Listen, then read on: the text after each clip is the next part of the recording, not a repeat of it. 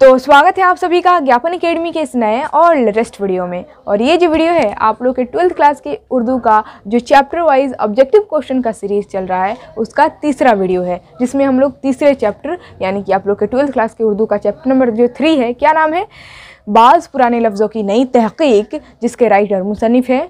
सैयद सुलेमान नदवी। तो तीसरे चैप्टर का सारा ऑब्जेक्टिव क्वेश्चन आज के इस वीडियो में हम लोग करेंगे, जो कि बहुत ज़्यादा वी वी आई यानी कि वेरी वेरी इंपॉर्टेंट है। जितना भी objective question chapter number three से बन सकता था, सारे ऑब्जेक्टिव क्वेश्चन को मैं तैयार की हूँ, जो कि आज के इस वीडियो में हम लोग करने वाले हैं। तो मेरे इन ऑब्जेक्टिव क्वेश्चन का आंसर देने से पहले आप लोग अपने हिसाब से आंसर दें, ठीक है? और अपना आंसर मेरे आंसर से मिलाएँ, और लास्ट में आप अपना स्कोर ज़रूर बताएँ कि आप लोग कितना ऑब्जेक्टिव क्वेश्चन सही कर पाए हैं, ठीक है? आप लोग का कितना में कितना है ये आप आप हमें कमेंट में ज़रूर बताएँ, ठीक है। और ये एकदम आसान लगेगा आप लोग के लिए जब आप लोग चैप्टर नंबर थ्री पढ़े हों। ठीक है। अगर आप लोग चैप्टर नंबर थ्री पढ़े हैं ना तो सारा ऑब्जेक्टिव क्वेश्चन का आंसर आप लोग खुद से दे पाएँगे, बहुत ज़्यादा आसान है, एकदम हलवा लगेगा आप लोग के लिए। ठीक तो अगर आप लोग चैप्टर नंबर थ्री नहीं पढ़े हैं तो जाकर पढ़ सकते हैं, इसी चैनल के प्लेलिस्ट में है क्लास ट्वेल्थ उर्दू सेशन दो हज़ार के नाम से प्लेलिस्ट सेव मेरे द्वारा ही पढ़ाया गया है। इनफैक्ट क्लास ट्वेल्थ के उर्दू का ऑल चैप्टर कंप्लीट करा चुकी हूँ तो वहाँ से जाकर आप लोग पढ़ सकते हैं, ठीक? तो चलिए, सारे ऑब्जेक्टिव क्वेश्चन को आप लोग को क्या करना है? ध्यान से देखना है, समझना है, और उसी के साथ उसका आंसर याद करते चलना है, ठीक? तो चलिए। हाँ तो यहाँ से आप लोगों का सवाल स्टार्ट हो रहा है और आप लोग देख सकते हैं यहाँ पर एक छोटी सी माइनर सी गलती हो गई है और आप लोग को दिखाई भी दे रहा होगा।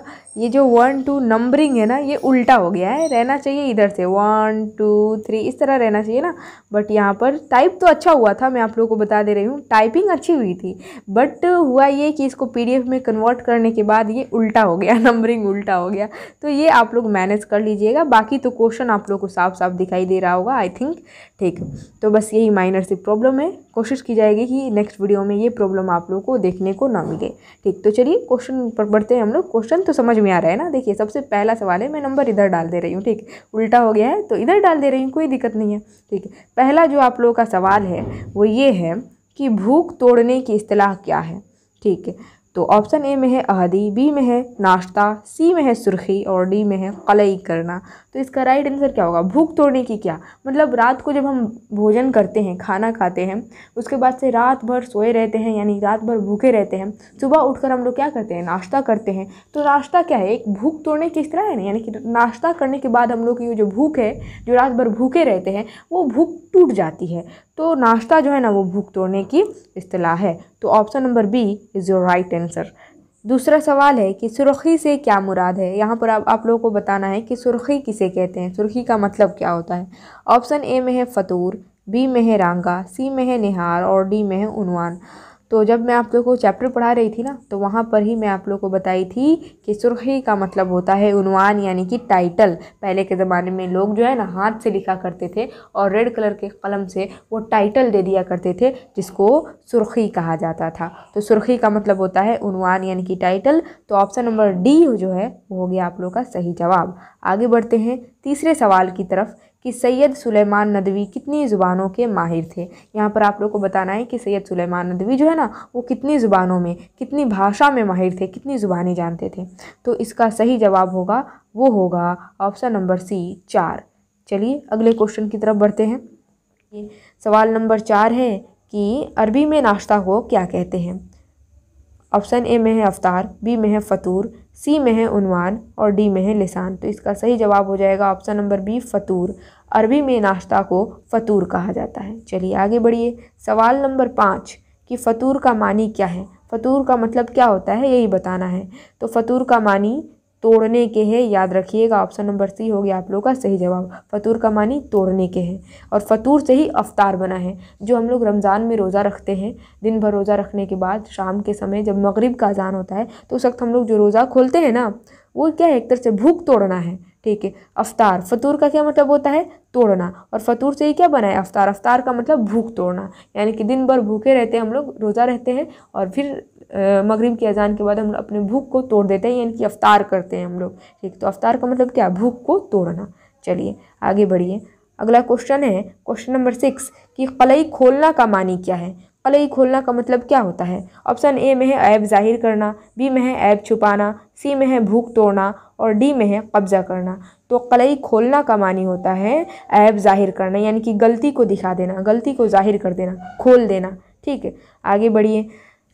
सवाल नंबर सात है कि लफ्ज़ निहार किन ज़ुबानों में इस्तेमाल होता है? यहाँ पर किन छुट गया है, किन ज़ुबानों में? लफ्ज़ जो निहार है, ये निहार, ये कौन से भाषा में यूज़ किया जाता है, इस्तेमाल किया जाता है? तो ऑप्शन देखिए। ऑप्शन ए में है फ़ारसी और हिंदुस्तानी बी में है अरबी और फ़ारसी सी में हिंदुस्तानी और अरबी और डी में है अरबी और फ़ारसी। तो इसका सही जवाब हो जाएगा ऑप्शन नंबर ए फ़ारसी और हिंदुस्तानी में निहार शब्द का यूज़ होता है। ज़्यादातर, चलिए आगे बढ़िए। सवाल नंबर आठ है कि कलई फेरना का मानी क्या है? कलई फेरना का मानी क्या होता है? तो देखिए ऑप्शन ए में है शर्मिंदा करना, बी में है ऐब छुपाना और सी में है ऐब दिखाना और डी में है जुल्म करना। तो इसका सही जवाब क्या हो जाएगा? ऑप्शन नंबर बी, ऐब छुपाना। कलई फेरना का मतलब क्या? ऐप छुपा लेना। ठीक है, जैसे कि पेंट करते हैं ना दीवार पर पेंट किया जाता है तो जितना भी दाग धब्बा रहता है, वो पेंट की वजह से क्या हो जाता है?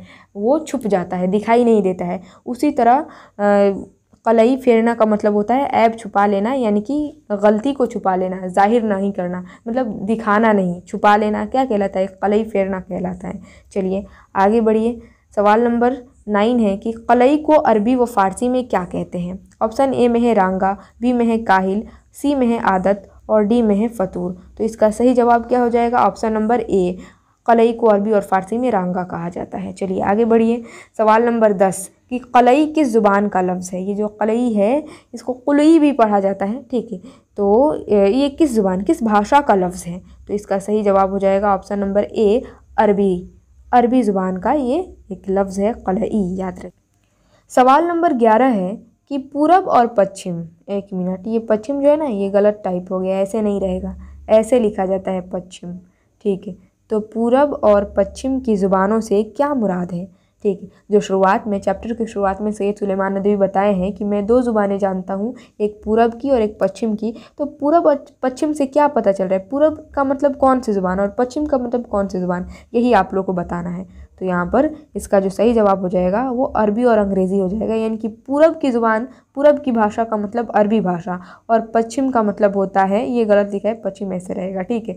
वो गलत टाइप हो गया, ठीक। तो पश्चिम की ज़ुबान का मतलब अंग्रेज़ी, पूरब की भाषा मतलब अरबी और पश्चिम मतलब अंग्रेज़ी, यानी कि सैद सुलेमान नदवी जो है ना, वो अरबी और अंग्रेज़ी भाषा में माहिर है, ठीक है? आगे बढ़िए, क्वेश्चन नंबर ट्वेल्व है कि बाज़ पुराने लफ्ज़ों की नई तहकीक मजमून के मजमून नगार कौन है? ये जो आप लोग का चैप्टर है, आप लोगों के बुक में दिया गया है, बाज़ पुराने लफ्ज़ों की नई तहकीक, इस मजमून, इस ऐसे के लिखने वाले कौन है? मजमून नगार कौन है? इस चैप्टर के राइटर तो मैं आप लोगों को शुरुआत में ही बताई कि इस चैप्टर के जो राइटर हैं, वो है सैयद सुलेमान नदवी। तो ऑप्शन नंबर डी हो गया आप लोगों का सही जवाब। आगे बढ़िए क्वेश्चन नंबर थर्टीन है कि सैयद सुलेमान नदवी की पैदाइश कब हुई? ठीक है, और यहाँ पर भी देखिए, गलत टाइप हो गया है। मतलब गलत टाइप ये खुद से ही उल्टा ले लिया है। चौबीस जो है ना, ये ट्वेंटी फोर इधर रहेगा। ट्वेंटी फोर सितंबर अट्ठारह सौ बयासी और ये जो ट्वेंटी टू है, ये भी इधर रहेगा मतलब उल्टा हो गया है। बाईस नवंबर उन्नीस सौ चौरासी और ये जो तीन है, तीन इधर आ जाएगा। तीन जून उन्नीस सौ बयासी और बाईस सितंबर उन्नीस सौ इकहत्तर। तो इसका सही जवाब क्या हो जाएगा? इसका सही जवाब हो जाएगा ऑप्शन नंबर बी। बाईस नवंबर और यहाँ पर उन्नीस सौ चौरासी नहीं रहेगा, अट्ठारह सौ चौरासी रहेगा। ठीक। सैयद सुलेमान नदवी की पैदाइश जो है ना, वो 22 नवंबर अट्ठारह ईस्वी में हुई थी। यहाँ पर गलती से उन्नीस सौ चौरासी हो गया। अट्ठारह रहेगा ना कि उन्नीस सौ चौरासी, याद रखिएगा। सैयद सुलेमान नदवी की पैदाइश कब हुई? तो 22 जुलाई अट्ठारह ईस्वी। चलिए आगे बढ़िए। क्वेश्चन नंबर फोर्टीन है कि सैयद सुलेमान नदवी कहाँ पैदा हुए?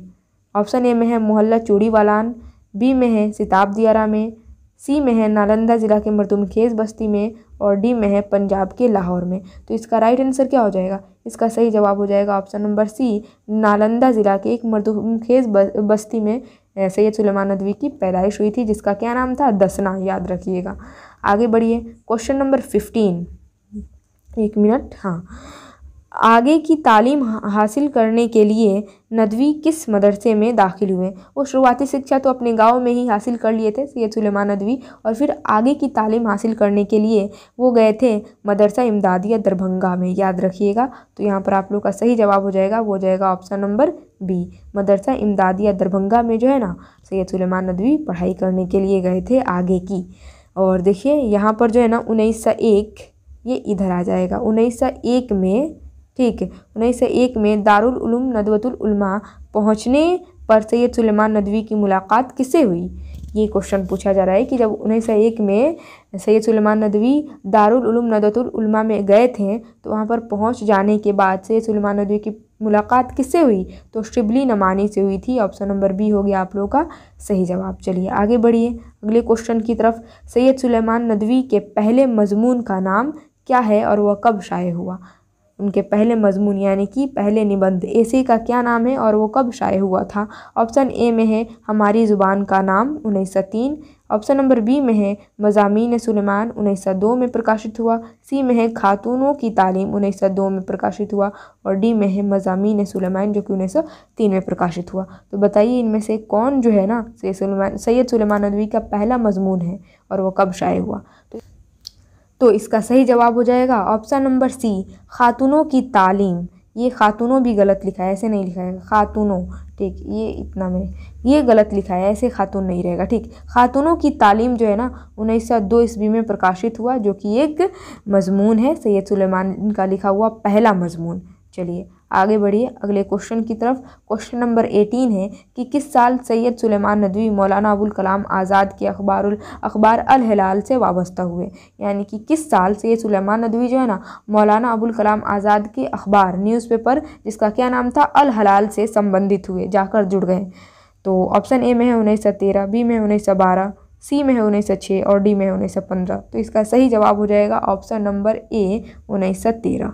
चलिए आगे बढ़िए। क्वेश्चन नंबर नाइनटीन है कि दर्ज झेल में से कौन सैयद सुलेमान की लिखी हुई मजमून नहीं है? कौन सा मजमून निबंध सैयद सुलेमान का नहीं है? लिखा हुआ नहीं है। ऑप्शन ए में है, नकूस सुलेमानी। बी में हमारी ज़ुबान का नाम सी है, मुकलात सुलेमानी। और डी में है, फूलों वाले की शेर। तो इसका सही जवाब हो जाएगा ऑप्शन नंबर डी। फूलों वाली की शेर जो है ना, ये सैयद सुलेमान नदवी का लिखा हुआ मजमून नहीं है। याद रखिएगा। चलिए आगे बढ़िए। हयात शिबली के हयात पर हयात शिबली जो है ना, किसकी हयात पर लिखा गया है? ये क्वेश्चन भी मिस मतलब गलत टाइप हो गया है। हयात शिबली जो है ना, किसकी हयात पर लिखा गया? ऑप्शन ए में है सैयद अबुल हसन बी में है मौलाना अबुल कलाम आज़ाद सी में है शिबली नमानी और डी में है इनमें से कोई नहीं। तो इसका सही जवाब हो जाएगा option number C Shibli Nomani की हयात तो मौत पर हयात शिबली लिखा गया था, याद रखिएगा। चलिए, आगे बढ़िए। क्वेश्चन नंबर ट्वेंटी वन है कि शिबली नमानी की खुतबात और मकालत को कितने जिल्दों में शाये किया गया? तो देखिए, ऑप्शन ए में है आठ, बी में है सात, सी में है छः और डी में है पाँच। तो इसका सही जवाब हो जाएगा ऑप्शन नंबर ए, आठ। आठ जिल्दों में प्रकाशित किया गया था। आगे बढ़िए। अगला सवाल है, सवाल नंबर बाईस, कि दर्ज झेल में से कौन सैयद सुलेमान नदवी की लिखी हुई किताब नहीं है? कौन सा? सैद सुलेमान नदवी का लिखा हुआ किताब नहीं है। ऑप्शन ए में है, अरब व हिंद के ताल्लुकात, बी में अरबों की जहाज़ रानी, सी में है, सीरत आयशा, और डी में है, ख्वाबों की ताबीर। तो इसका सही जवाब हो जाएगा ऑप्शन नंबर डी, ख्वाबों की ताबीर जो है ना, वो सैद सुलेमान नदवी का लिखा हुआ किताब नहीं है। याद रखिएगा, चलिए, आगे बढ़िए अगला सवाल। सवाल नंबर तेईस कि सैयद सुलेमान नदवी के वालिद का नाम क्या था? उनके पिताजी का क्या नाम था? ऑप्शन ए में है, सैयद अबुल हमीद बी में है हकीम सैद अबुल हसन, सी में है सैयद अबुल कासिम और डी में है हकीम सैयद अबुल रशीद। तो अब्दुल रशीद तो इसका सही जवाब क्या हो जाएगा? इसका सही जवाब हो जाएगा option number B, Hakim Syed Abul Hasan. ठीक? आगे बढ़िए। अगले क्वेश्चन की तरफ़, सैयद सुलेमान नदवी का इंतकाल कब हुआ? चौबीस इधर आ जाएगा। ठीक है। चौबीस नवंबर उन्नीस सौ चौवन, बारह मई उन्नीस सौ तिरसठ, ये इधर नहीं रहेगा। ठीक है। ये इधर चलाएगा। तेईस नवंबर उन्नीस सौ तिरपन और सात मई उन्नीस सौ साठ। तो इसका सही जवाब क्या हो जाएगा? इसका सही जवाब हो जाएगा ऑप्शन नंबर सी, तेईस नवंबर उन्नीस सौ तिरपन ईस्वी को जो है ना, सैयद सुलेमान नदवी का इंतकाल हो गया, उनकी मौत हो गई। आगे बढ़िए, सैयद सुलेमान नदवी का इंतकाल कहाँ हुआ? ऑप्शन ए में है लाहौर, बी में है कराची, सी में है मुजफ्फरपुर और डी में है पटना। तो इसका सही जवाब हो जाएगा ऑप्शन नंबर बी, कराची में सैयद सुलेमान नदवी की मौत हुई थी। चलिए आगे बढ़िए। अहदी का मानी क्या है? ठीक है, ऑप्शन ए में है काहिल, बी में है अकेला, सी में है लाल और डी में है रांगा। तो इसका सही जवाब क्या हो जाएगा? देखिए, अहदी दो तरीके से होता है। एक होता है, एक मिनट, यहाँ पर मैं आप लोगों को बता दूँ। एक होता है, दोनों पर ज़बर रहता है। अलिफ के ऊपर भी ज़बर और हे के ऊपर भी ज़बर। तो इसको पढ़ा जाता है अहदी। और एक होता है ऐसे। सिर्फ़ अलिफ के ऊपर ज़बर रहता है, अहदी। ये पढ़ा जाता है अहदी और इसको पढ़ा जाता है अहदी, ठीक है? तो दोनों में अंतर है। इसका मतलब होता है काहिल। इस अहदी का मतलब क्या होता है? काहिल। और ये वाला जो अहदी है ना, इसका मतलब होता है अकेला, याद रखिएगा। तो यहाँ पर ज़बर तो दो, नहीं दिया है कि किस पर, ना तो अलिफ पर दिया है और ना ही हे पर दिया है। तो इसको आप लोग अहदी ही पढ़िए, अहदी। तो अहदी का मतलब क्या होता है? मैं आप लोग को अभी बताइए ना अकेला तो इसको ऑप्शन नंबर बी लगा दीजिएगा, ठीक है? तो चलिए आगे क्वेश्चन देखते हैं। क्वेश्चन नंबर ट्वेंटी सेवन है कि निहार लफ्ज़ है। निहार जो ये लफ्ज़ है, ये किस ज़ुबान का लफ्ज़ है? मतलब कौन सी भाषा का लफ्ज़ है? ऑप्शन ए में है फ़ारसी भाषा बी में है अरबी भाषा सी में है उर्दू भाषा और डी में है अंग्रेज़ी भाषा। तो निहार जो लफ्ज़ है ना, ये लफ्ज़ है फ़ारसी भाषा का, याद रखिएगा। चलिए आगे बढ़िए लास्ट क्वेश्चन है क्वेश्चन नंबर ट्वेंटी एट कि सैयद सुलेमान नदवी की लिखी मजमून है। सैयद सुलेमान नदवी का लिखा हुआ मजमून, यानी कि ऐसे, इन चारों में से कौन है, बताइए। ऑप्शन ए में है, भूले बिसरे गीत बी में है, इंसाइया इंशाइया क्या है? सी में है, मिट्टी का तेल, और डी में है, बाज़ पुराने लफ्ज़ों की नहीं तहकीक। तो ये तो बहुत ज़्यादा आसान है। सैयद सुलेमान नदवी का लिखा हुआ जो मजमून है, वो है बाज़ पुराने लफ्ज़ों की नई तहकीक।